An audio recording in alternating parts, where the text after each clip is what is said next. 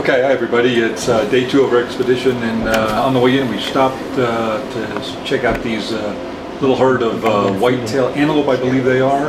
They seem pretty curious about us, so we stopped uh, to say hi. Uh, once we got to the site, we got our packs on and, and headed out to our first site. As you can see when I zoom in here, you can see our some stuff we left over the night before. And what we're going to do is we're heading to the site to do some plaster jacketing of uh, a couple things we left over the night before. So uh, here's more the kind of the basic process. Uh, what we're doing now is just that same large uh, specimen of Hydrosaurus, uh, or I'm sorry, Hydrosaur uh, rib bones. We've rolled the rock over. We did the plaster jacketing on the top half the day before. We're now doing the bottom half.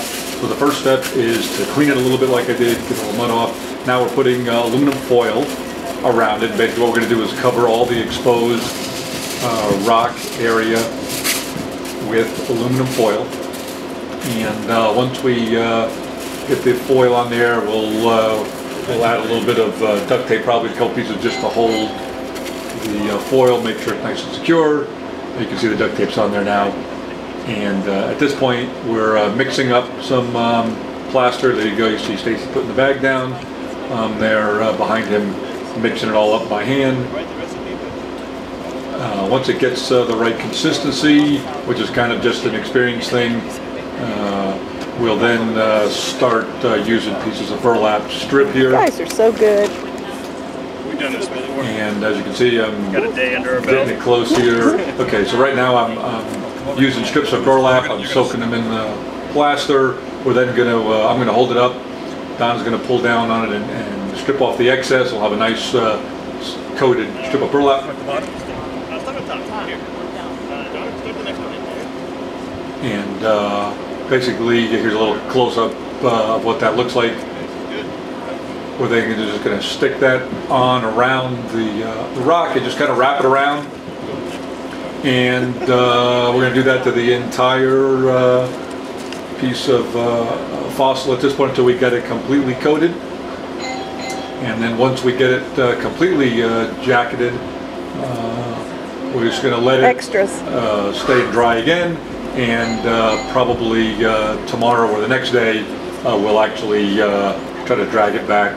uh, So if you find our bodies the- out there, at least the, uh, everything will be tagged.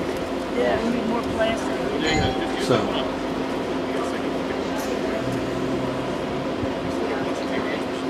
and, That- and it's a little bit of a messy process here, as you can see, but uh, basically, just uh, what's left over here and uh, our last piece of burlap again, we're gonna uh, coat it nice and uh, You thick. look like you're doing laundry. and then just uh, coat every exposed uh, piece of uh, what that's got a foil. You can see right now the top is still getting the bottom down there. We're just covering over the What are aluminum foil doing, the top again, last? Oh, that was More, just got a- more. And then we'll do the, uh, the top uh, as the last piece. And one thing I did not mention, but I think you guys might have figured out, is if there's a hollow spot, tuck it into the hollow spot. Don't, uh, just, Okay. Well, And impressive? uh, that's JP uh, giving us some uh, advice there. Obviously, he's been doing this for That 20 again. years, and Put we've been doing it for about uh, one day. I'm gonna put them right here. And there me, I'm trying to figure out a way to uh, clean my hands, and Stacy actually looks like a, uh, a good way to do that. Okay, this is l- later on in the afternoon. What we decided to do is just go prospecting, which is a process of wandering around looking for new sites.